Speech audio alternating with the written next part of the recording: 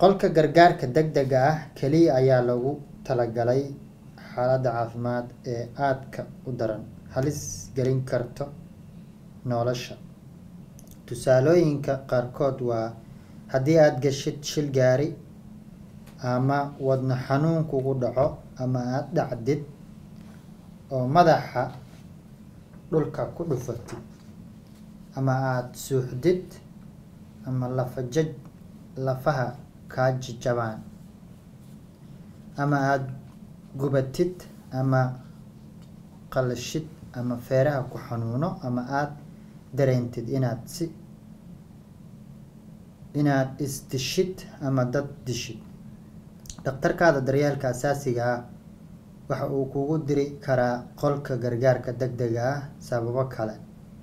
Haddii aad qabto xaalado caafimaad oo degdeg ah adoo guriga joogtid ama ka maqan, waxaad wici kartaa lambarka sagaal hal hal nine one one. U sheeg luqadda aad rabto inaad ku hadasho si ay turjubaan kuugu helaan.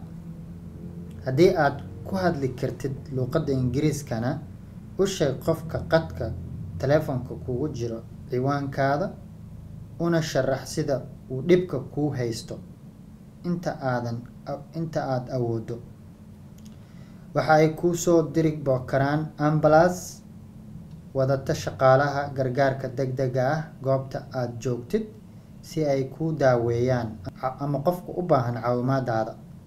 Haddii loo baahdo, kooxdaas ayaa qofka u gudbinaysa waaxda degdegga ah ee isbitaalka. Waa muhiim inaad ciwaanno ka haysato qof aad ku aamini karto, sida xubinta qoyskaada ka mid ah ama saaxiib. Tusaale ahaan, saaxiibkaa lambarkiisa ama ciwaankiisa haddii uu dhaco kiis degdeg ah inta aad ku sugan tahay isbitaalka dhexdiisa. Qofkaas waxaa loo aqoonsanayaa inuu yahay ciwaankaaga arrimaha degdegga ah. Arrimaha degdegga ah waa kuwo inta badan aan la filayn, welwelna leh. Markaa isku day inaad degganaansho muujiso, ama waa muhiim inaad wadato sawirkaaga aqoonsiga, kaarkaaga caymiska, iyo waxyaalaha kale ee muhiimka ah.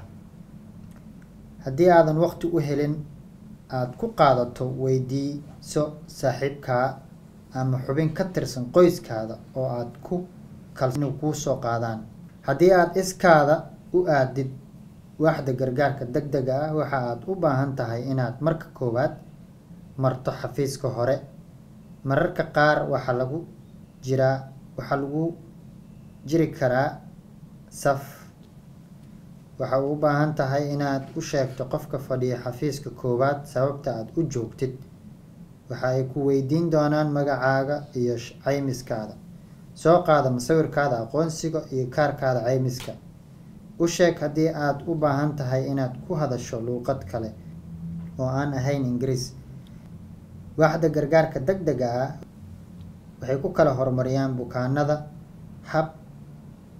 hadba sida ay u kala daran yihiin dhanka xaaladdooda caafimaad. Shaqaalaha xafiiska hore waxa ay kugu xirayaan calaamad lagu garto gacantaada si ay shaqaalaha u ogaadaan qofka aad tahay. Marka aad soo gashid waaxda gargaarka degdega ah, waxaa kugu xilsaaran kalkaaliso, maxaa yeelay dhakhaatiirta waxa ay kula kulmaan bukaankooda hadba sidii ay u kala daran yihiin. Waxaa laga yaabaa inaad sugto si aad u aragto dhakhtarkaaga iyada oo ku xiran sababta aad u joogtid iyo sida ay xaaladdaada degdegga ah tahay. Iyada oo ay ku xiran tahay xaaladdaada caafimaad, waa lagu daaweynayaa, kadibna waa lagu fasaxayaa, ama waa lagu daaweynayaa isbitaalka ayaadna dhex joogaysaa ilaa loo garto in lagu fasaxo. Waa muhiim inaad kulankan kale la yeelato dhakhtarkaaga daryeelka aasaasiga ah sida dib u eegista qorshahaaga daaweynta iyo cusboonaysiinta daawadaada. soo qaado warqadihii lagu qoray ama daawooyinkii aada qaadanaysay oo uu isbitaalka ku siiyey si uu dhakhtarka u dulmaro nidaamkan iyo tilmaamo kaste ama qoraal kaste oo la la wadaago waa qeyb ka mid ah hanaanka bixinta banaanka isbitaalka lagaaga saarayo dulmar lambarka koowaad haddii aad haddii ay jiraan xaalado caafimaad oo daran wac lambarka nine one one. Haddii aad ku qanacsan tahay luuqadda aanan afka ingiriiska ahayn u sheeg qofka qadka taleefonka kaaga hadlaya inaad u baahan tahay turjumaan iyo luuqadda aad rabto. U sheeg lambar saddex u sheeg qofka aad taleefonka kagala hadlaysid goobta aada joogto iyo xaaladaada deg dega ah.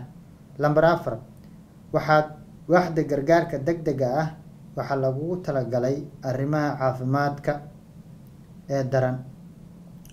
Waxaa ka mid ah waxyaalaha qofka naftiisa halis gelin kara feero xanuun lafa jajab iyo dhiigbax. Lambar shan wado mar walba ciwaan deg deg ah oo lagala soo xiriiro.